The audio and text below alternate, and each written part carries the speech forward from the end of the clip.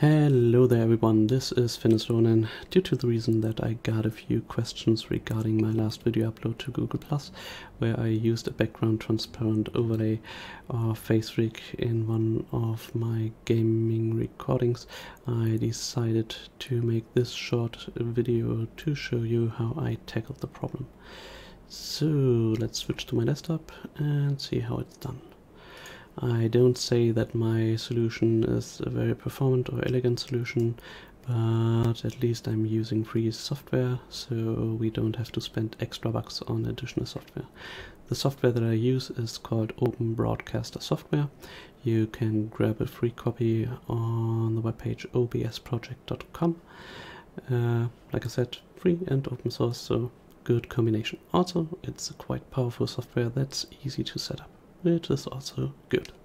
So let's fire up the software. This is how it basically looks. Uh, in the main window you have an area called sources where you can add sources that you want to record.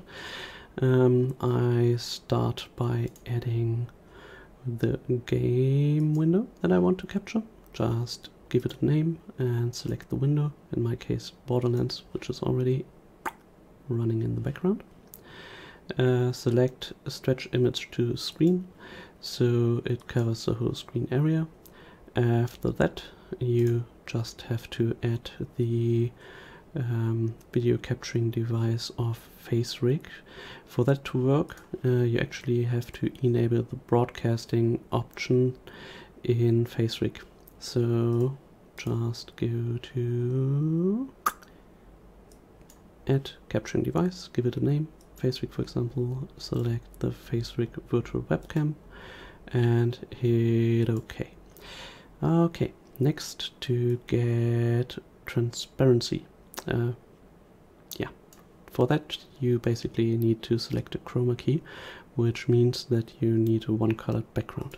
So in FaceRig, go to um, your background settings of the avatar, select a background with one color, um, rearrange your character.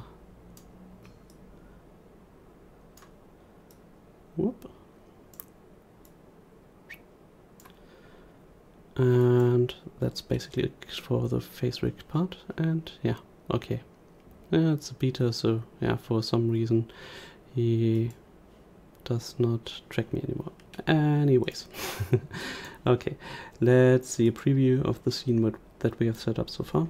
So, yeah, as you can see, you don't see the game. That's just because the game is running in the background and so the window does not get rendered and so there's no recording. As soon as I put it up in the front, you can basically see the whole scene rendered. So, uh, to arrange this, you just hit uh, edit scene and then you can move the windows around. Um, due to the reason that you have the FaceRig logo on the lower corner, um, you can either cut the window scene or uh, in my case which is easier to just push it down a few pixels so that it's basically gone. Okay so far so good. Next we need tran background transparency. For that just right click on the video capturing device select properties then select use chroma key select the chroma key black and hit ok Okay, that's basically it. You have your overlay with transparency and now you could start broadcasting or start recording a video, whatever you like. Uh, yeah, that's it. Uh, I hope you enjoyed this small introduction. Uh, see you all next time. Bye bye.